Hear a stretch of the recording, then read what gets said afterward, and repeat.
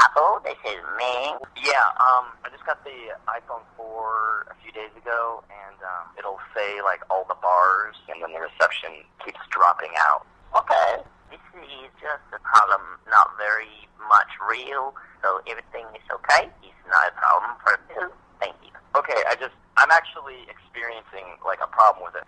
Okay, I'm sorry. I don't mean to make you defend yourself. I don't understand why I would do it. I apologize. I don't mean it. And I'm gonna help you everything. Okay? Happy Halloween. I'm sorry, you, did you say Happy Halloween? Yes, we just try to say positive statement. Oh, okay. Yeah, yeah, I was just confused. I was like, it's not Halloween. Yay. So I'm gonna put you on hold, Happy Halloween. Okay, hold. You're gonna. Okay. You should never hold the iPhone uh, with your hands, Happy Halloween. I can't hold my phone. That's right. People have uh, fat hands in America. Just gonna cover up this antenna, so don't do it with your your fat hand. Okay, I I I, I think I have normal hands. I, I'm gonna need to hold it. Don't hold it. Um, I have to hold my phone. Okay, please hold. no, no, please don't. Oh yeah, life goes on. Okay, I'm Why back. do you keep putting me on hold, sir? Business that is not with you.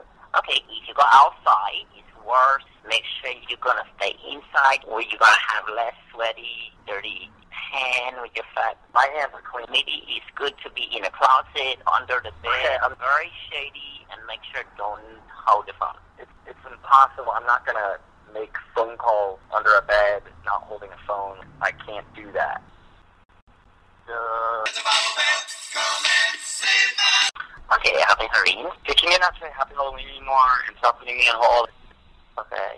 Why is it you have this problem on this phone? You know, act crazy. Yeah, I don't. You know, it's like why is it you gonna hold it crazy and then your phone act, you know, haunted? Haunted? Maybe take some blame. You're saying it's my problem. I'm acting crazy. Yeah. You're talking about my fat hands. That's alright. Can I please talk to your supervisor? No, it's okay. I'm sorry. I just want you to try to think about how can you not be, you know, so crazy. I'd like to talk to your supervisor right now, please. No, I love you. Happy Halloween.